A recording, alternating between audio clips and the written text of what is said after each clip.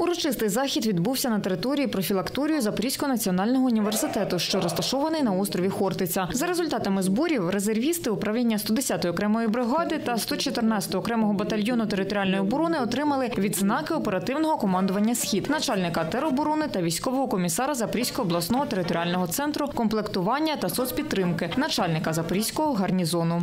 Всі ми знаємо, що зараз на даний час е, все рівно загроза з боку Російської Федерації не припиняється. Відповідно, є необхідність підготовки не тільки кадрових військових, а ті, хто в нас знаходиться в резерві. Це не тільки Запорізької області, це також і е, інші області проводять такі зборові заходи.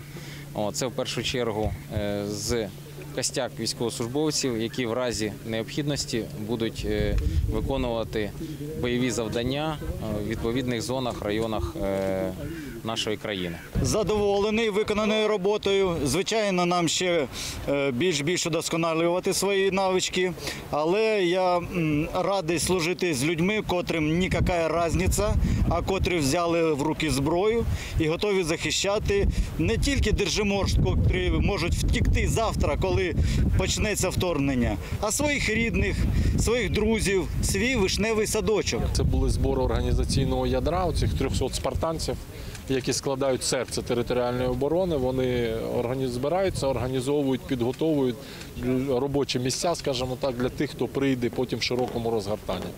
Е, Робота пройшла ефективно, е, злагодження відбулося, е, 100% явка, всі відпрацювали.